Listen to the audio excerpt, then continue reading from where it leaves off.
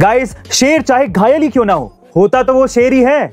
ऐसे ही अपने एक घायल शेर को राजस्थान रॉयल ने 2022 के ऑक्शन में भाव तक नहीं दिया।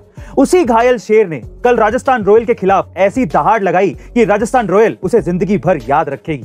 जी हाँ गाइज़ हम बात करें the killer Miller David Miller की, जिन्होंने अपनी ही पुरानी टीम राजस्थान रॉयल के खिलाफ लास्ट के ओवर में तीन गेंदों पर तीन छक्के मारकर आईपीएल 2022 के क्वालिफायर वन में गुजरात टाइटंस को जीत दिलाकर फाइनल का टिकट कटवा दिया और राजस्थान रॉयल देखती रह गई। उन्होंने इस मैच में अड़तीस गेंदों में अड़सठ रन की ताबड़तोड़ पारी खेल दी और यही नहीं, इस आईपीएल सीज़न में भी डेविड मिलर ने पंद्रह मैचों में अब तक चार सौ उनचास रन बना दिए हैं। गाइज़ मिलर ने इस आईपीएल में उन तमाम फ्रेंचाइजीज को करारा जवाब दिया है, जिन्होंने उन्हें खरीदने में जरा सी भी दिलचस्पी नहीं दिखाई थी। लेकिन गाइस आपको डेविड मिलर की पारी कैसी लगी कमेंट सेक्शन में ज़रूर लिखेगा और ऐसे अमेजिंग वीडियोस के लिए शेयर सब्सक्राइब एंड लाइक मिलते हैं अगली वीडियो में।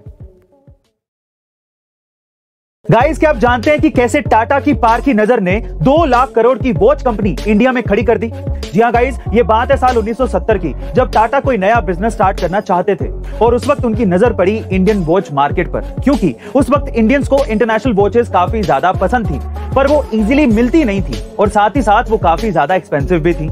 इसलिए टाटा ने साल उन्नीस सौ सतासी में पहली बार टाइटन वॉचेस की मैन्युफैक्चरिंग शुरू कर दी।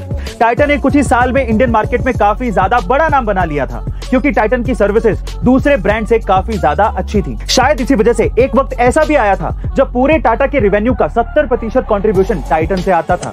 यही नहीं टाइटन के स्टॉक्स ने भी पिछले पाँच सालों में अपने इन्वेस्टर्स को लगभग 400 गुना रिटर्न दिया था। और इसी वजह से टाइटन इंडिया का नंबर वन ब्रांड बन चुका है। गाइस क्या आपको भी टाइटन की वॉचेस पसंद है? कमेंट सेक्शन में ज़रूर लिखेगा और ऐसे अमेजिंग वीडियोस के लिए शेयर सब्सक्राइब एंड लाइक मिलते हैं अगली वीडियो में।